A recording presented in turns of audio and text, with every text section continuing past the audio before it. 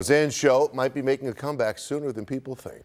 A streaming service whose chief marketing officer happens to be from Western New York plans to reach out to her. Two on your side's Kelly Dudzik joins us now with more on that. Kelly? Scott and Maryalice, that Western New Yorker is Michael Caputo. He's a Republican political strategist, former Trump aide, and an executive for a new online streaming service called Bond.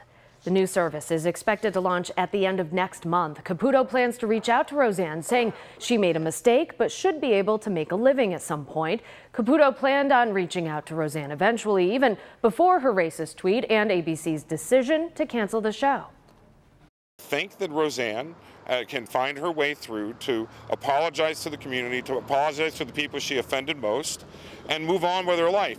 To think that she can't is almost totalitarian. I think that she deserves a second chance.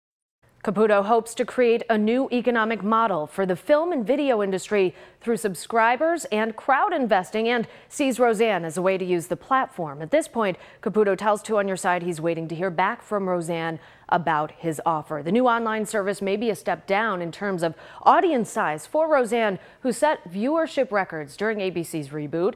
Now, when we asked if this service would feature more conservative-based programming, Caputo said no. He says he expects to launch Bond on June 25th.